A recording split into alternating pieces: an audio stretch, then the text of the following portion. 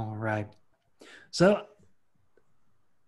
we will let's go ahead and get started with the program. Sound like a good thing to do? I think so. So welcome everybody to the North Carolina Museum of Natural Sciences Bug Fest, sponsored by Terminix and BASF. My name is Chris Smith. I'm curator for the SECU Daily Planet Theater at the museum, and I am here to be uh, your host a little bit and help just guide the programming along. And once we finish up the presentation, I'll help moderate questions from the chat box. So if you're taking a look at the controls available to you here on Zoom, if this is not your first time here, you can open up the chat box and there you can leave thoughts, questions, comments, insights of your own. For example, like what your favorite fact that you've learned at BugFest is so far. And then from there, I'll be able to pose those to today's very special guests.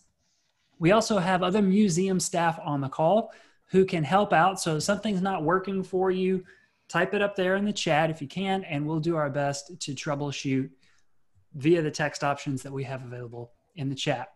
Um, so Carrie, Jesse, Hugo, they're all here to help out. Um, you have a few other options available to you as well. Up in the top right, you should have a button that says view or gallery or speaker view.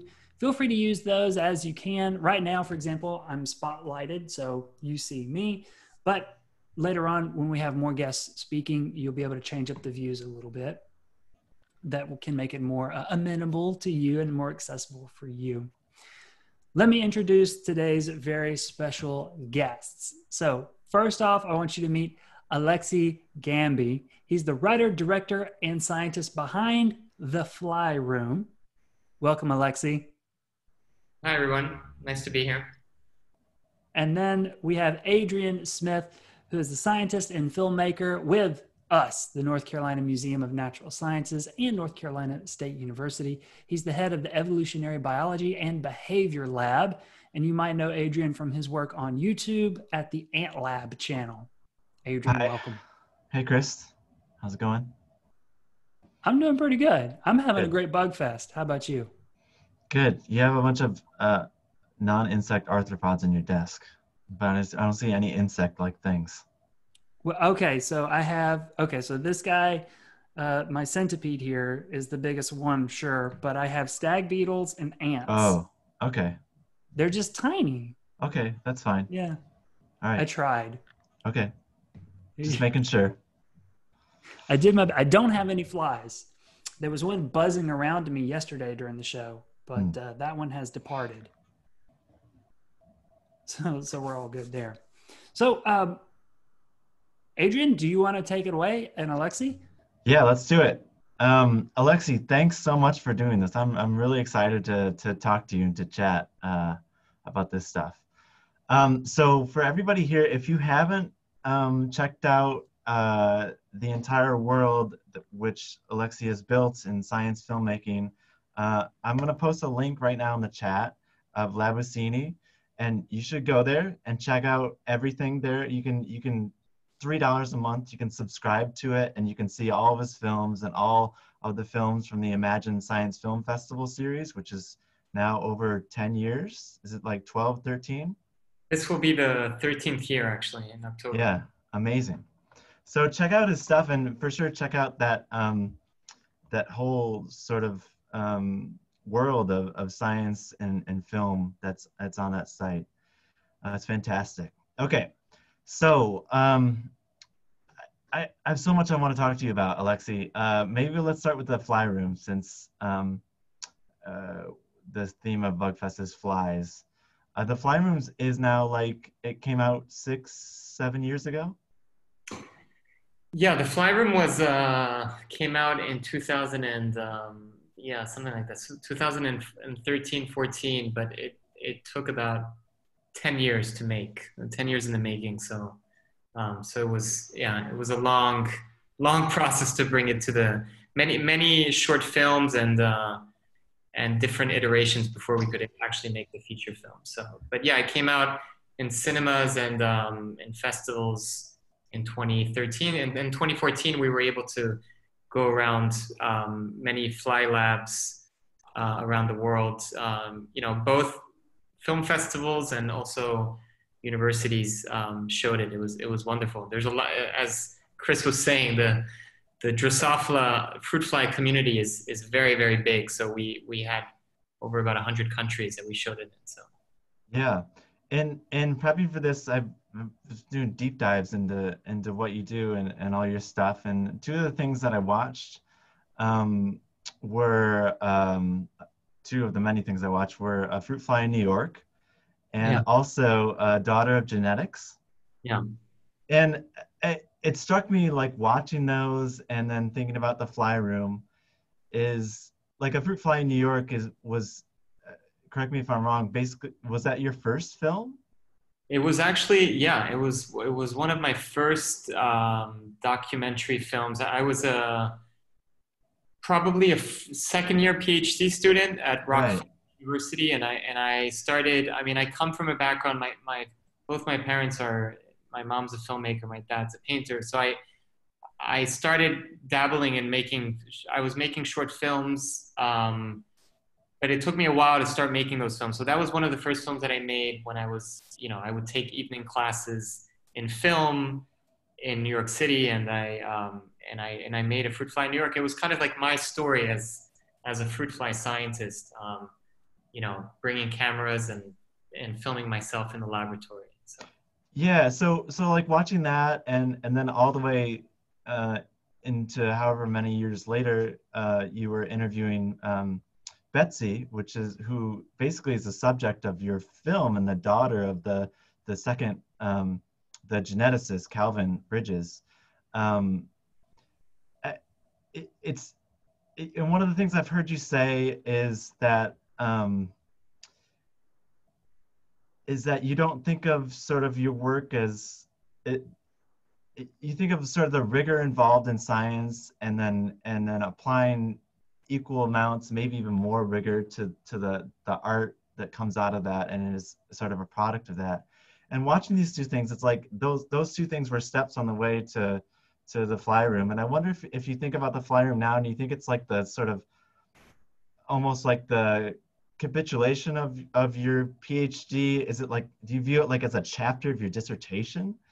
Like yeah. Uh, interesting you mentioning that. I, I do definitely consider um, the fly room and, and most of my work actually um, you know I, I don't only make science films i mean i'm actually working on a film on butterflies right now which is also not a fly but mm-hmm. um, but the but yeah the fly room was very much of a of kind of like closing the chapter or closing the cycle the the fly cycle if you want on my phd and also film school because i went to film school i went to nyu film school right afterwards immediate, actually, I even had a one year overlap between, I defended my PhD after being at NYU for a year, but there's a lot of things in the fly room that were were also kind of part research, you know, like the film, the the bithorax, this four-winged fly, and also the, you know, the, it, it definitely felt more than just a film. It was definitely an extension to to my years in, in the in the lab, and also kind of being able to say goodbye to that world because I actually ended up not, you know, pursuing a career in, in, in research. Um, so I was kind of like, it was kind of like closure to my years as a researcher and, and, kind of then went on to, to be a, a filmmaker. So. Yeah, well, I mean, one of the things I get from watching it is like, I don't, I'm not sure anybody else could have made that movie, because I mean, I mean, uh, you spending so much time like in a fruit fly research lab, and and knowing about this story but then you know approaching your the the real life subject i mean i, I don't i don't know how you first reached out to her but I, I assume part of the conversation was like i'm i'm a fruit fly researcher and you know I, my work is is a direct descendant of your father's work but i'm really also interested in the story of, of people or, or whatever behind the science. And and i'd like to you know think about uh, telling this story through film like it to me it's just a remarkable thing that that it that this movie exists and that it, i feel like yeah i just feel like you're you you were the perfect position to to make it and and just the confluence of of your background in science but also your artistic aspirations and you're you're going off you're you're work in the field of film. It's really came together in like a piece of, of art that's like truly yours and and kind of I don't know, kind of stands on its own, I guess. Well. It's very kind of you. I mean, it's kind of like a like a, a child of mine. I always consider the fly room to be like my, you know, my at this point like my six year old whatever child. But yeah, I, I, when I approached, I mean, anytime I, you know, at the, at that time I was still trying to carve my, you know, artistic slash scientific voice. I, I was trying. I was still tiptoeing around how I wanted to tell stories. I, I initially heard about the fly room in a genetics class uh, that was taught, taught by um, a geneticist, Norton Zinder, who's also very big uh, scientist. And, and I was very intrigued by this idea of scientists that were known as the fly boys. Speaking of flies, you know, they were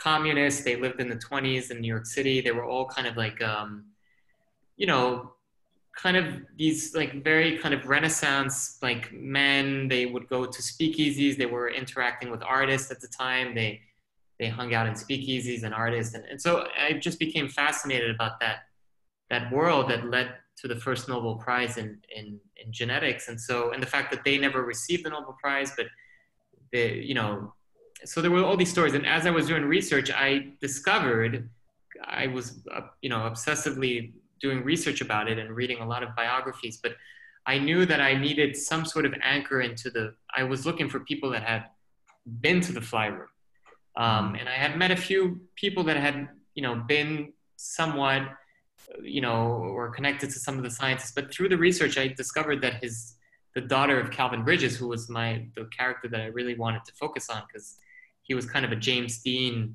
looking, you know, he had like this amazing hairstyle and you know, was was kind of a womanizer and, and known as being a womanizer. That when I discovered that his daughter was still alive, I immediately reached out to her. And as you said, I, I what you said is is accurate. I introduced myself as a as a fruit fly scientist interested in making a film. She, you know, I basically spent five years interviewing her, and she didn't really want to speak about her father because there's a lot of issues with her father, and you know, uh, which is mentioned in the film. And mm so it took a lot of time for me to become part of the family actually. I, I you know she would call me up and say when are you coming to visit me? And it was only after maybe three or four visits that she would open up more. And and one day it was probably three or four visits in over four years she told me that she went to the fly room when she was 10 years old and that was my anchor to the story was like this little girl spending she she sort of said it tangentially in a conversation. She's like, "Oh yeah, I went once. I was 10. He showed me around.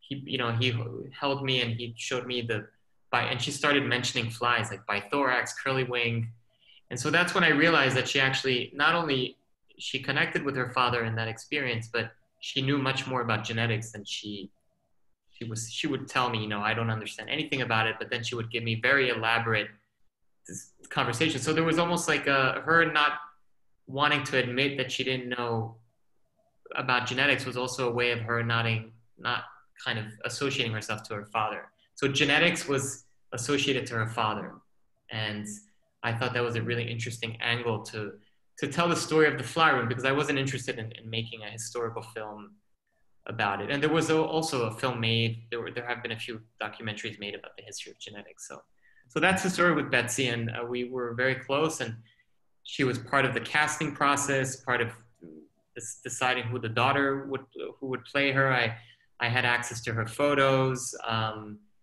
and there was many stories that, you know, of course it's dramatized and it's fictionalized, but I try to encapsulate as many stories as possible within. You know, the film takes place over two days basically, um, and I try to include as many different stories in, into it as possible. So. Yeah, yeah, that's fantastic. Um, okay, so so like um,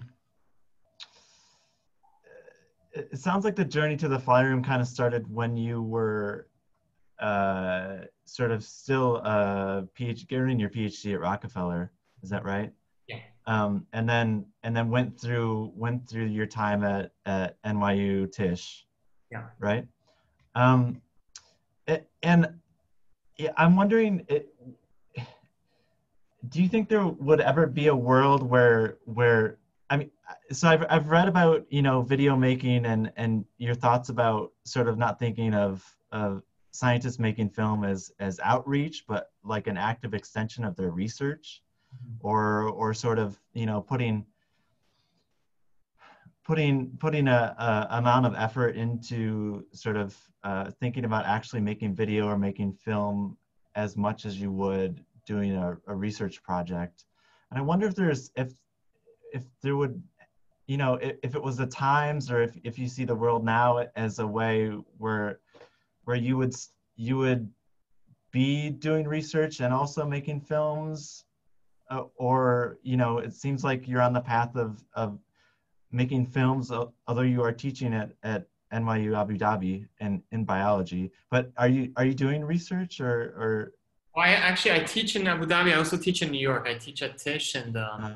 Also teach, I teach and because NYU has several uh, campuses, but I, I actually have a double appointment in the biology department and in the film department. So, mm-hmm. um, but yeah, I mean, to, to your question about, I mean, the, the, the, the term science communication has always been relatively problematic to me because it suggests that scientists are not necessarily good communicators, and so we need to organize events around the communication of science. And of course, especially now with everything that's happening with the pandemic, you know, science communication is important. But um, but I feel, yeah, I feel that making films um, is in a way the same as writing an article. That scientists should be equipped with the language of not only the technical aspect of video making, but how do you tell stories with with visuals? You know, how do you um, and how do you also take ownership over your own images? Uh, because oftentimes scientists are considered to be advisors or they advise on projects, which is absolutely fine. And that should be encouraged and, and continued. But I also think scientists should make films, should take their data and think, and I know you do that, you know, yourself, you, you make films. And so I think whether it's, you know, making documentary, and I, I think there, there should also be freedom in terms of how you want to use that footage. Maybe you want to make fiction. Maybe you want to make um, animation, or maybe you just want to show the data without any. Um, so I think there, there's definitely a, a, necessity for visual literacy. Um, the same way as a scientist needs to learn how to write, um, video is becoming such an important way in which we share data now because you go to conferences.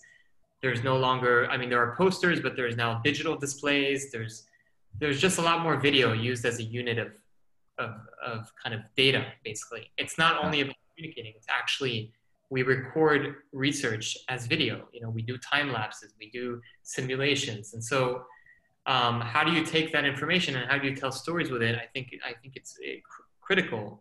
Um, you know, and of course, when I started, I received there's a lot of resistance, right, from science community community, but also from the film community as well. You know, uh, less now. I think it's becoming more, um, you know, these kind of hybrid worlds is becoming more kind of accepting. But, you know, at the time when I was applying to film schools, it was very difficult to explain to people, you know, they, they couldn't quite comprehend or wrap their heads around the science uh, becoming a filmmaker. They, was that part of your application? What, what, did you did you kind of pitch yourself as a as a wanting to do sort of experimental science based film Yeah, I, I, did. I did. I, I also didn't want to box myself into that world. I, I, I knew the, the dangers of referring to myself as like I want to make science content. But uh, yeah, I, I told them that most of my my curiosity about making film stemmed from science and especially mm-hmm. from the use of microscopes and and flies because that was like my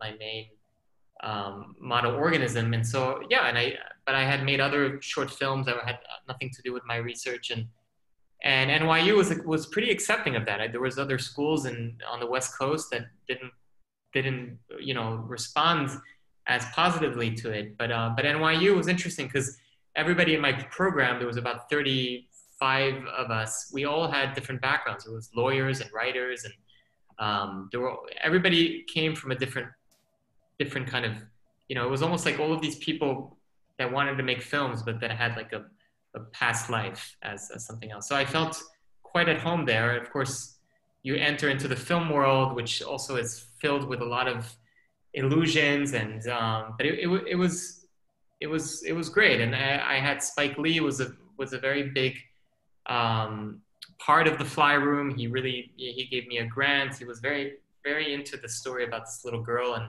and Betsy, and so it was really remarkable to see the enthusiasm about a film like that from you know from established filmmakers and, in that community. So yeah, I, I wonder. Um, uh, I, I wonder in your experience in in film school, um, was there anything about about your science background that that you saw as like a as like a similar drive, similar sort of like um, I don't know, like uh, like creative force that is behind the work of a scientist and behind the work of an artist because uh, when me for me when i when i make a video i'm uh, i i want to do something that no one's done before.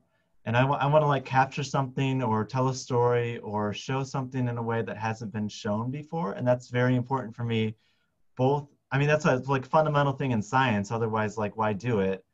But for me that that that sort of desire is transferred over to also like video video making is that I, I don't want to put something in the world that someone else could have done yeah both both like if it's me on screen presenting but also like what i'm capturing and what i'm trying to say about whatever you know yeah. I, I wonder if, if things like that popped up in your experience of absolutely I, I, think the the the research kind of uh, the research prep and the research experience that i had is, is very similar to making films. In many ways, I feel like those two worlds are, are very similar. The way in which you kind of build, I mean, whether it's a short video or whether it's a feature film, how do you take these individual experiments?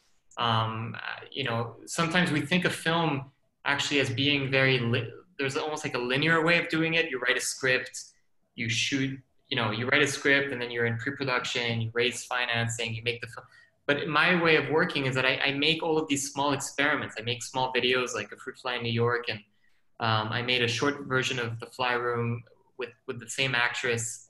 Um, and then I go back to the writing, and I go, you know, and then there are things that I take. It's kind of like a like a like a melting pot of different things, and in many ways I treat it as research. And of course, if I'm in, if I'm doing a, a film about a science specific science topic, there's a lot of research that goes into understanding the field, you know, um, how they would speak at the time. You know, they wouldn't refer to it as as genes, but they would refer to like you know these elements as factors, and um, so there's a lot of things that go into it, and it's it's yeah, my you know my research experience in many ways um, informed a lot of how I make films and how I teach film as well. Um, and I also teach biology. I teach cell biology and I teach a class on visual cognition, but I use film as a way to teach concepts. I have students make films and then they have to present the, the videos that they make and be able to speak about, you know, apoptosis or speak about cell division through the, through the films that they make. Um, and it's an interesting process because, because they've made the films, they have to, they, they have to almost take ownership over the research, but also the, the, the film that they made because they are the directors. And so they become experts about speaking about certain scientific topics through the through that process and um, so yeah I, I think there's a lot there's a lot in common to those two worlds. And it's also you know it's like basic research.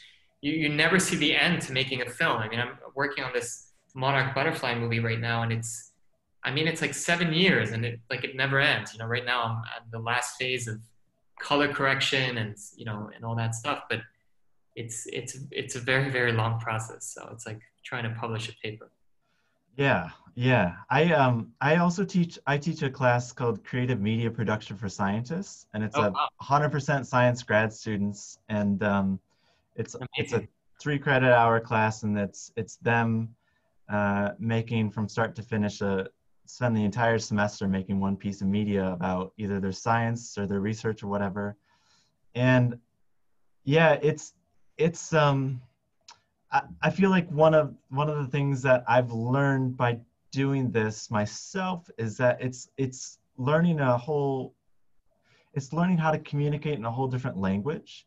And there's so much you learn by doing. And like you said like making short films and sort of iterations of a, of a story is a thing. And it, it's a it's a it, you kind of learn about yourself in the process. You learn like what how you can best tell a story Yeah. and that seems to like dictate for me personally like dictate like what stories i want to focus on Mm. and the more i make stuff the more i learn about what i can and can't do or both physically and and also just like you know performatively and and interest wise Yeah. and i think you know for for working with students it's it's in science it's it's kind of like opening up a different side of their brain because you can't read a you can't read a protocol and like follow it and get a thing you have Yeah. to like it's the experiential thing of like making it and like you learn by writing and writing in this case is like picking up a camera and shooting stuff or like just saying something to the camera and seeing what works what doesn't what can or can't you do Hmm. i don't yeah it's, it's sort of It's, yeah, it's and it's it's interesting because the, the, there's also this realization that the the documentation or the filming of something there's something that's subjective, right? There's something that is ultimately you're telling, you know, even though you're capturing an experiment or you're you're visualizing data, you're doing it through your own lens. You know, what I mean, you're doing it through the camera lens, but you're also doing it through your own perspective. And I think that's sometimes hard for scientists to understand that it's okay for things to be subjective. You know, it, not not everything.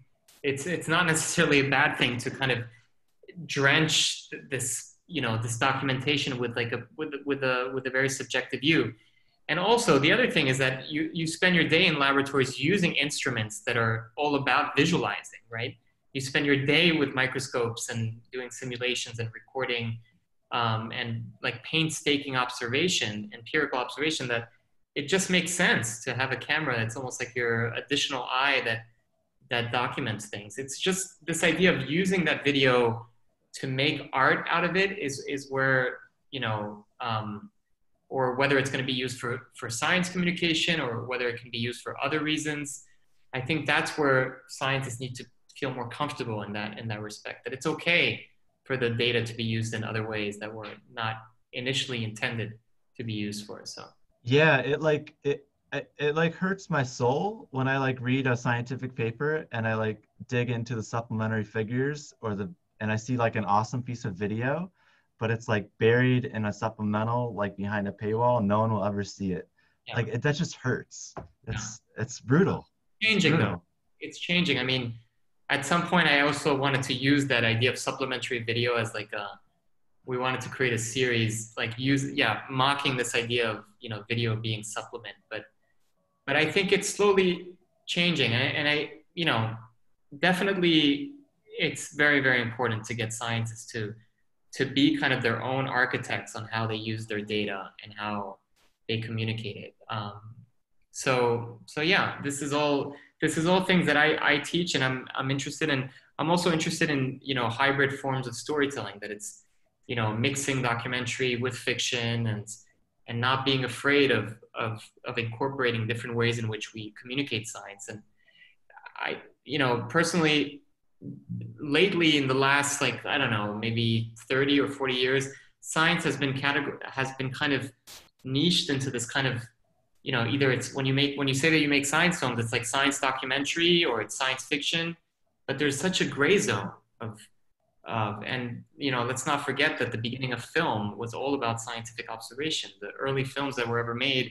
by the lumiere brothers and by you know percy smith and all these early films in the 1900s were all about like the acrobatic fly for example speaking about flies it's like one of the first films made of a of a fly you know um, manipulating like a cork in, in the air and all these things. So, um, so I think there's a, there's an there's a necessity to to really make people realize that science cinema is is very rich and there's a lot of ways in which you can communicate it. So, yeah yeah i wanted to ask you a little bit about that because I, I so i know i know a bunch of people well not a bunch but a handful of people who you know got a phd and and sort of are are now in in the art space um, and that path like is splits off into a bunch of different ways like i know people who you know are now successful like uh, producer directors and like the the tv nature documentary sort of sphere of of stuff I know people who got a got like a genetics PhD and then went into like YouTube, like Yeah. science video land.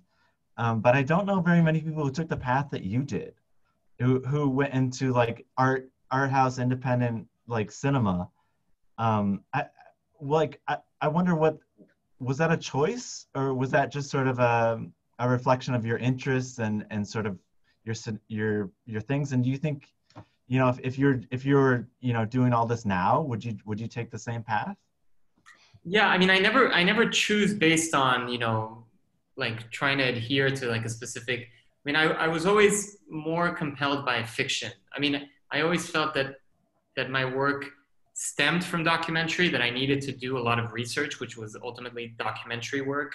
Whether it was, you know, interviewing scientists, like you know, I would, I could sit down with you, Adrian, and I could ask you about things. But then the idea was always to use that as a as a blueprint to then construct stories around that. Um, and, and fiction is always something that that that I was compelled by. I don't know whether it's maybe I'm you know half French, half Venezuelan. I come from like a multicultural background. I always was really interested in this idea that science is um, the, the kind of the cultural aspects of science, like how science is done in different parts of the world, or how science intersects with um, with spiritualism or with different types of other, you know, you know, in, in this case of the monarch butterfly, you know, I, I kind of mix Evo Devo research with uh, with the Day of the Dead in Mexico, you know, and kind of bring in those worlds of evolutionary development with with um, with all kinds of, of of practices in Mexico, and so that you know, and then my films kind of became like these independent art house films, but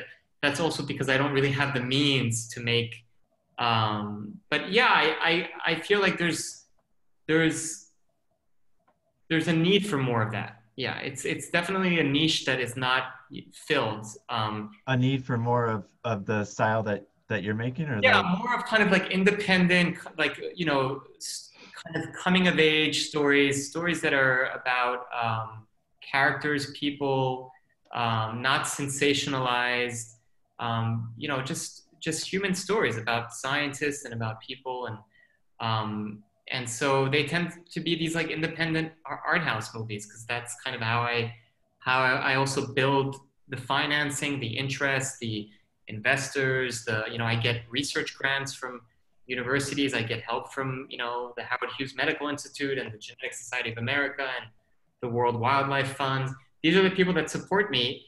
And even though there's a little bit of resistance because they, they think of science film as being Discovery Channel and Nat Geo, that there's a little bit of explanation to be done, but that ultimately, uh, you know, they realize that it actually reaches a lot of people because it, it plays in cinemas and it plays in, in you know, it, it actually has like a pretty wide release um, to that extent. And what was interesting with the Fly Room is that it had that that kind of fly mania, which was amazing. Like you know, from from Tokyo to you know to ba- Bangalore in India, like there was just like people were so happy that there was a movie made about fruit flies, which was remarkable. And PhD students would come up to me and ask me, "How do I become a filmmaker?" And um, but then it also had like an interesting um, run in you know in in in like art house venues in Berlin and Paris and in it played in Brooklyn and so so it's also kind of trying to break the the molds that we've created about where these films should play. Um, but yeah, I'm very interested in the character of the scientist, you know, and also playing around with like, you know, you may not see this person as a scientist, but they are, you know, the, the, they, they are. And so my latest film is about a Mexican immigrant scientist in New York. And, you know, you would see him and you may not think that he's a scientist, but he's an evolutionary biologist and there are many like him that would identify. And so I'm very interested, especially with immigrants, um, im- immigrant scientists, because I'm an immigrant myself, to, to really kind of change the way we think about scientists on screen. So, and how they are as people, as parents. In the case of Fly Room, they can be. You can be the father of genetics, but you can you can be a flawed father. You know, that's the whole irony of the film is he is the father of genetics, but he's not the greatest father. Yeah, yeah, I see a lot in your films that this idea of like, you know, a, a grand reason for doing biology or science is to try to to try to see ourselves and other organisms and try to learn you know whether it's like a literal cure for cancer or aging or whatever um, and and you know in, in Flyroom it's it's that obsession that kind of drives drives him to sort of lose himself or lose you know lose his lose his daughter basically in in search of himself in a fly and i yeah. see that theme pop up again and again in, in your in your work of of of what are the implications of like looking for ourselves and other other organisms and and what is right. And so that you know, we always talk about model organisms as a, as you know, as it says, like a model organism. It's an organism to study human development, disease, but in as you said, it's also like a reflection of who we are and our fragilities and and vulnerabilities. And so that's precisely it. Is that he, you know, ultimately Calvin, when he speaks to his daughter, he he at some point opens up about his own childhood and his own upbringing and and you realize that he he's he's in this world because he's trying to understand himself and understand behavior and there's also an interesting line that he has in the speakeasy where he says soon we'll be able to understand behavior you know um, and of course we're doing that now and you know the, you know the whole field of epigenetics and but um but yeah that that is something that is is really important to me is like why do we why do we become scientists you know and what what are the reasons behind it is it's more than just a passion. It's we want to understand who we are and why we exist, and um, and I think that that's also important for people that get into the fields of of, of science. And so, yeah, that that was that was definitely you know. And then Betsy actually became an artist because her father taught her how to how to draw.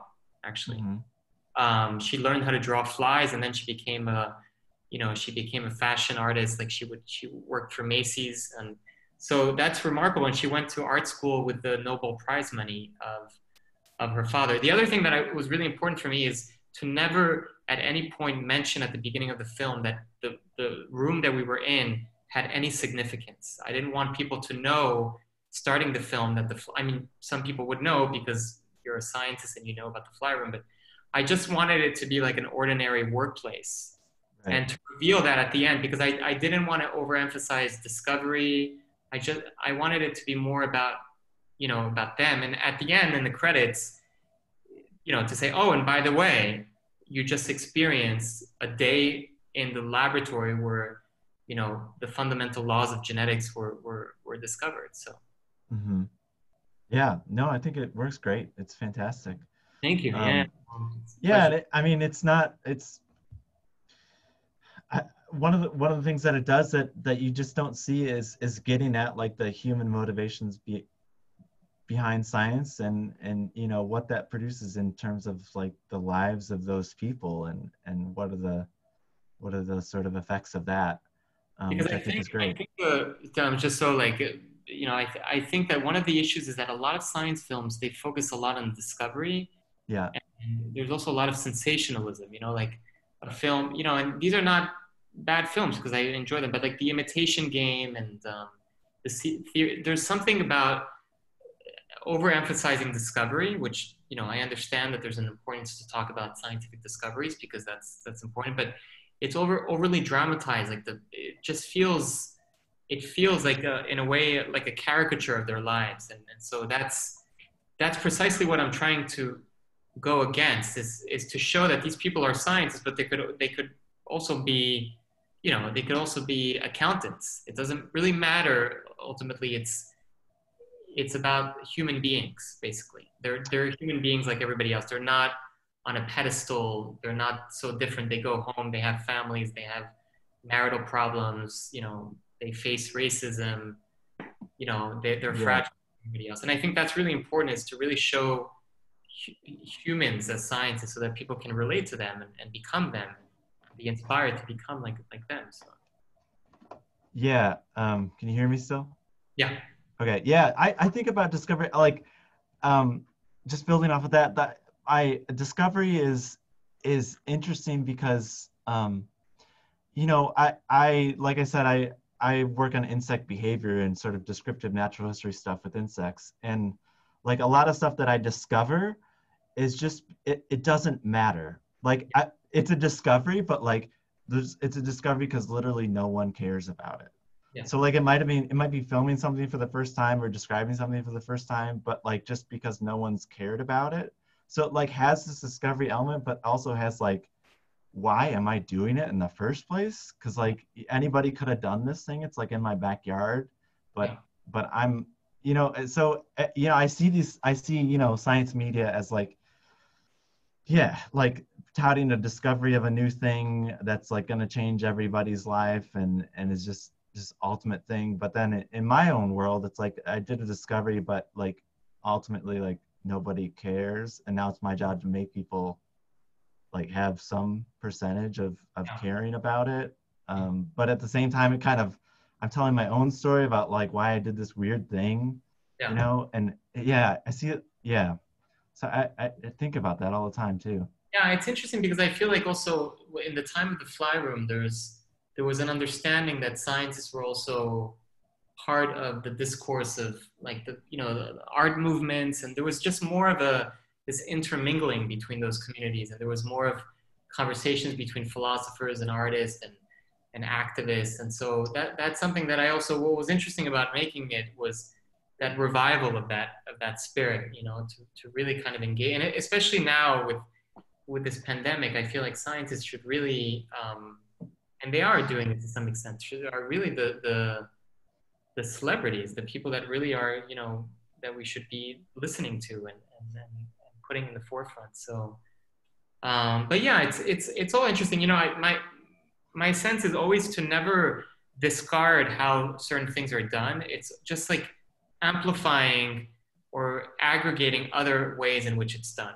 basically i would never say oh you know like the alan turing film is terrible or you know of course i love gattaca and all these films. I, I think those are inherently amazing films. And that's also partly why i went into creating a film festival was because i wanted to embrace this idea that there are many ways of telling um, scientific stories that are that that are not just getting the attention that they deserve. And so that was that was the other side of my kind of activism was i'm going to make films and i'm also going to cheer cheerlead other films that are being made. And um, so that's you know that's just kind of like the the other side of the coin basically. Yeah and and since you're on your 13th year of that I, have you seen like an uptick in submissions that you get that aren't from traditional filmmakers that are oh my god from- absolutely. Yeah, Yeah. most of the films are from i would say like 25% are from maybe scientists but most of them are from you know filmmakers from all around the world. We, we received this year around 5000 submissions so wow that's wow. And we selected about uh, 80 films um, and this year because it's going to be online because of everything that's happening we we, we have m- many more features and yeah it's, it's going to be great. And we we created this platform the labocine.com uh, where the festival is going to be hosted on and um, yeah and it's been a really great platform to host conversations with you know with filmmakers and scientists. And we have this initiative called scenes which is all about exactly what you were mentioning about creating an open source database for scientific videos. Um, so yeah that's all kind of there's definitely been a lot of interest especially from from established filmmakers to be in a science festival.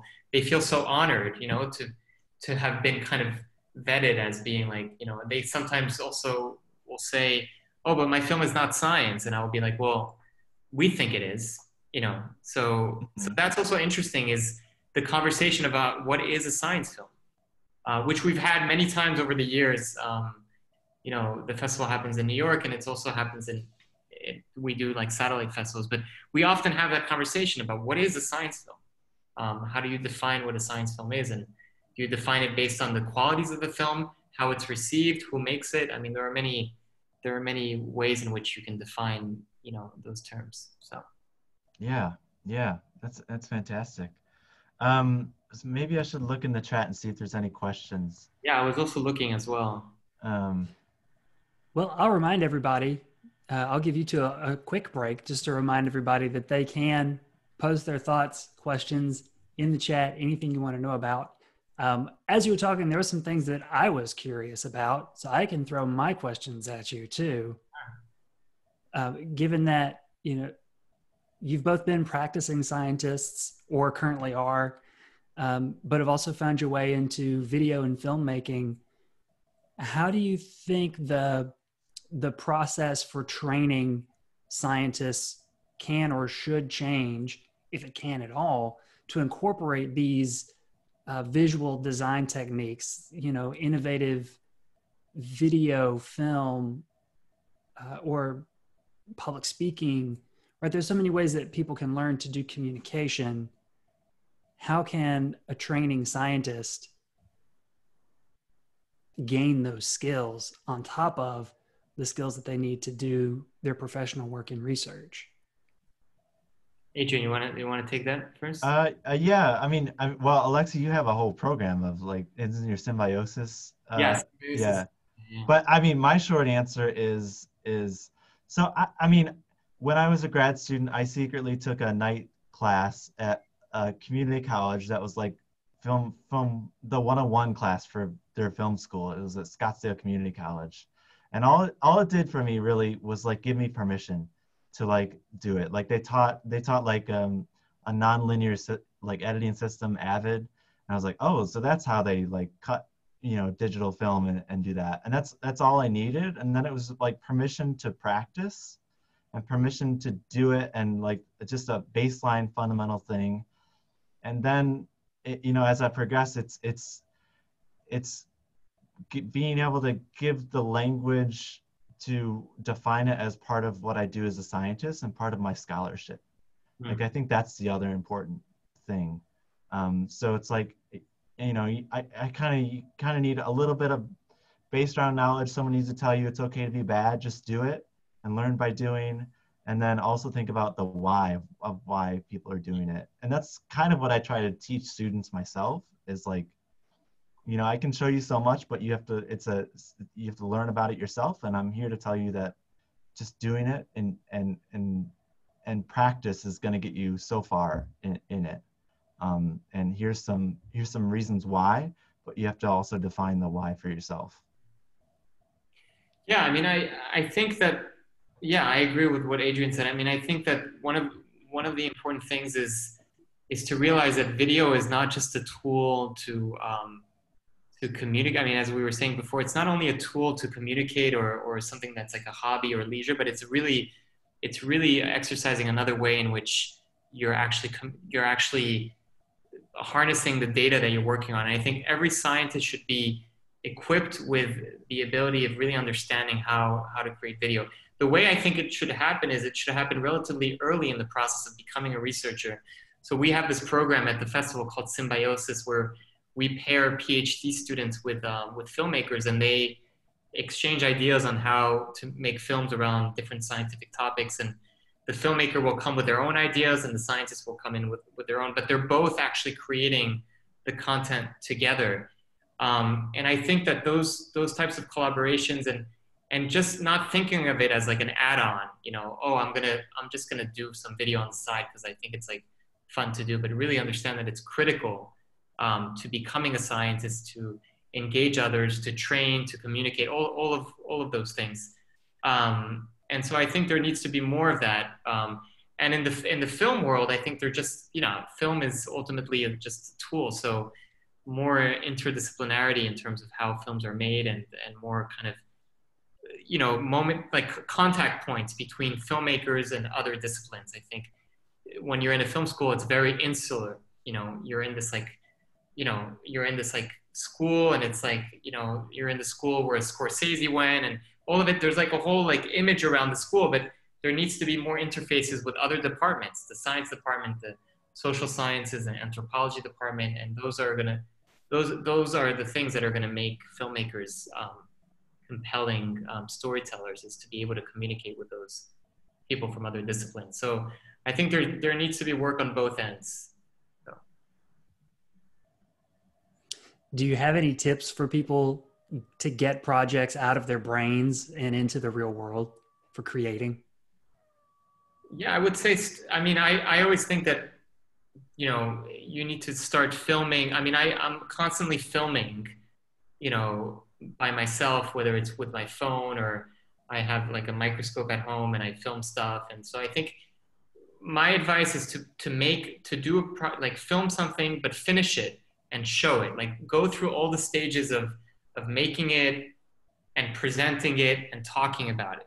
Um, that if it if it's left unfinished, which is also fine, but you will you will never understand the whole process of how people respond to it, how people interact with it, where where does it end up playing? Like for example, the fly room being part of the Bugfest is great because it's a I'm also tailoring the way I speak about it in relation to to the festival, right? So if I were speaking at you know at another event, it would be a different maybe angle to that. So I think it's really important to um, to showcase your work and and whether it's in a gallery setting, in a festival, online. I mean, that's really a big part of of projects. And so I think don't be afraid to just. I mean, many films are made with you know with nothing. So I might the first film that I made, Fruit Fly in New York, was just with like a small camera. So.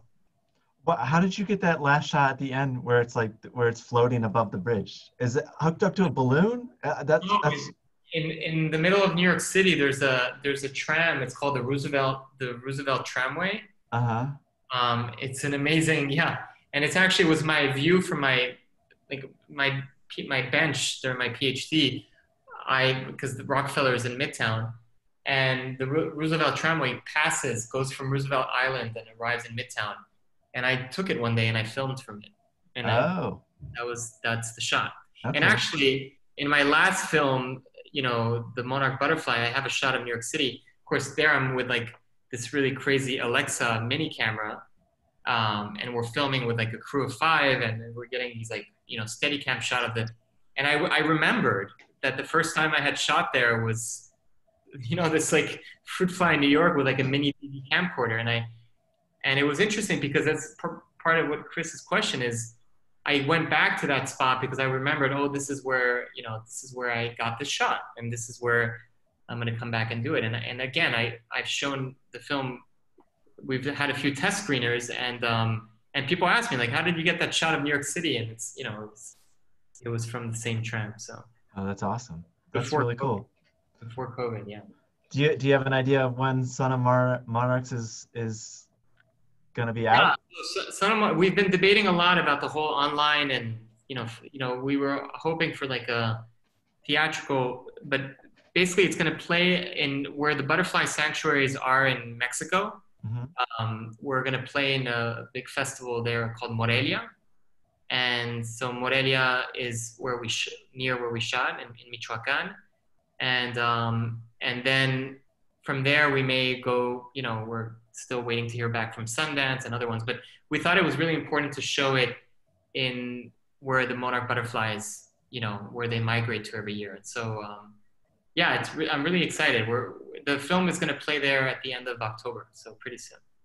Wow, cool. And will you'll start hearing about it because we'll we we release it to the world and it'll have you know other screenings will happen and hopefully we'll have something in in person right now. Right now, right now we're in color correction in Paris, so I spend my days in studios, um, you know, altering the color of butterfly wings, and it's an ama- amazing process of adjusting the color on the film. So yeah, that's awesome.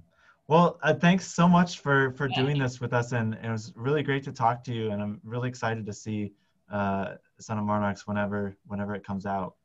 Yeah, um, thanks so much for having me, everyone. Yeah, thank you, Chris and Carrie, and all the all the audience members out there if anybody wants to know more about the film or, you know, the, fest- the festival is called Imagine Science Films, Imagine Science Film Festival, and it's imaginesciencefilms.org is the, uh, is the website. I can write it here if you guys want. But that, that's going to be in exactly, um, in exactly a month from now.